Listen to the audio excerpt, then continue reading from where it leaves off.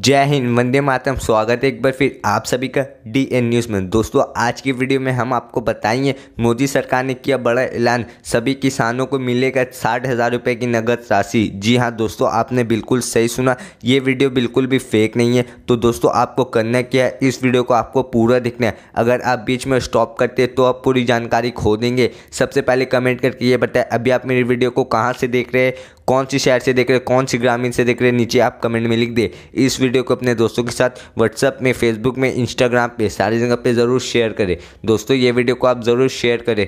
दोस्तों, अगर आपने मेरी वीडियो को अभी तक लाइक नहीं किया तो प्लीज़ प्लीज़ दोस्तों, मेरी वीडियो को लाइक कर दे और साथ में सब्सक्राइब कर दे, ताकि आने वाली वीडियो की नोटिफिकेशन आपको मिलती रहे। तो चलिए वीडियो को शुरू करते और आपको बताते हैं। प्रधानमंत्री किसान सम्मान निधि योजना के तहत दो हेक्टेयर तक की जोत वाली छोटी किसान को सालाना साठ हज़ार रुपए की नगद मदद दी जा रही है लेकिन आधार नंबर ज़रूरी होता है। हालाँकि पहले किस्त के लिए आधार कार्ड नंबर देने अनिवार्य नहीं है ले, लेकिन दूसरे किस्त पाने के लिए सरकार ने इस योजना के तहत छोटे किसानों के खातों में इस महीने से पैसा डालना शुरू करेगी।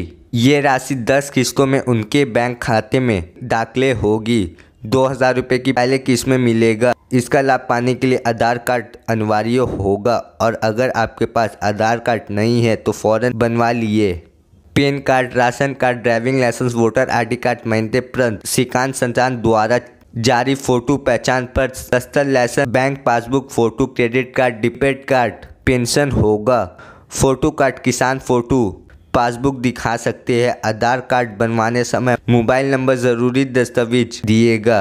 आधार कार्ड अपडेट में मोबाइल नंबर की ज़रूरत होती है। अगर अभी तक आपने आधार कार्ड नहीं बनवाया है तो जानकारी के लिए बता दे। तो दोस्तों, यही था इस वीडियो में। उम्मीद करते ये वीडियो आपको अच्छी लगी। अगर ये वीडियो आपको अच्छी लगती तो अपने दोस्तों के साथ ज़रूर शेयर करें। फिर मिलते किसी और वीडियो पे किसी और टॉपिक के साथ। Thank you for watching